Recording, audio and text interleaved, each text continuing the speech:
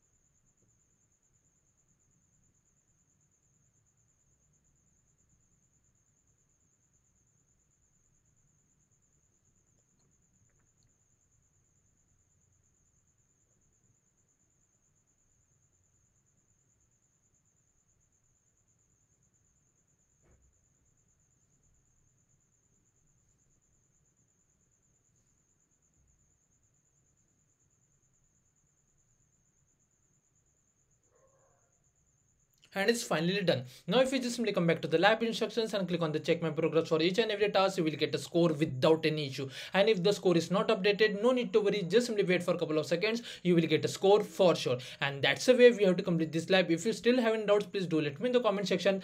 Thanks for watching and have a good day guys